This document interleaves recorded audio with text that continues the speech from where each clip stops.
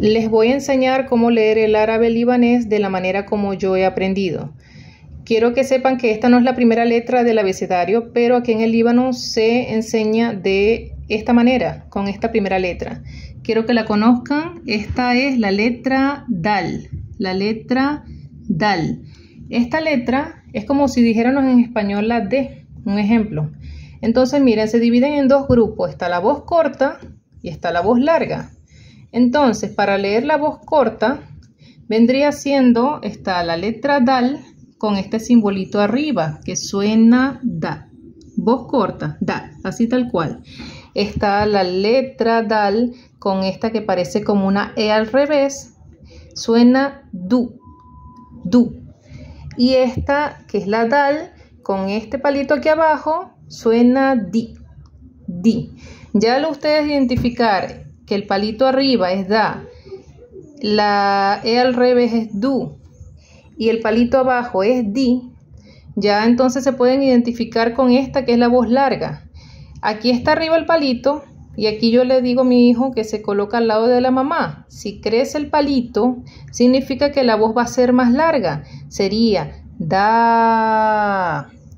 Esta es una E al revés que se coloca al lado de la mamá y se pone más grande, entonces sería du. Y este palito como lo está pisando, se convirtió en una serpiente. y entonces, si este palito que tanto lo pisaron y después se convirtió en una serpiente, está grande, suena di. O sea, lo digo por qué, porque a veces se tiende a confundir el palito abajo con el palito arriba. Entonces, al de arriba es el palito tal cual, aquí al lado de la mamá, pero cuando el palito está abajo, se convierte en una serpiente.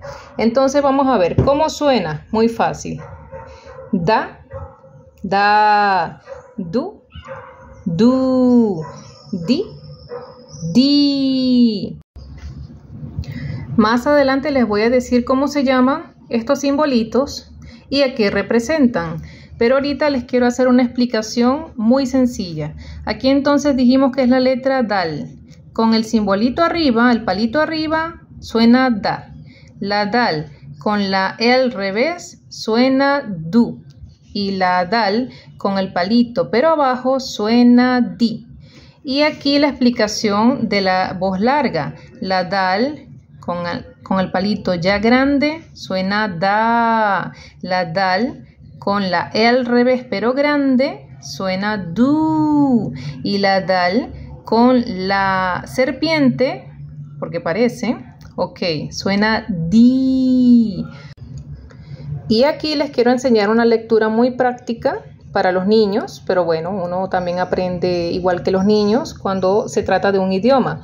Miren, aquí está. Esta lectura estaba en línea. Esta conecta con esta, así y así. Entonces vamos a leerla. Primero aquí dice, du, du.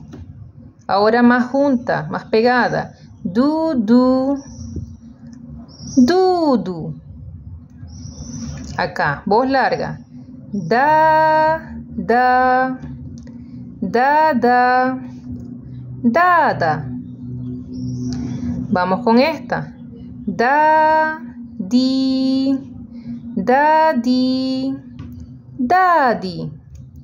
Y vamos con esta última. Sería voz larga con voz corta. Du, du du, du, du, du. Ok, mis amigos, espero puedan familiarizarse con el sonido de esta letra, de la letra DAL. Este, próximamente le estaré subiendo también más videos sobre las otras letras y así lo vamos practicando y poco a poco yo sé que van a aprender a leer lo que es el árabe. Este, mm, no tiene tanta dificultad como parece, pero hay que seguir con la pronunciación. Bueno, espero que les haya gustado el video y bueno, este, nos vemos entonces para la próxima. Muchísimas gracias.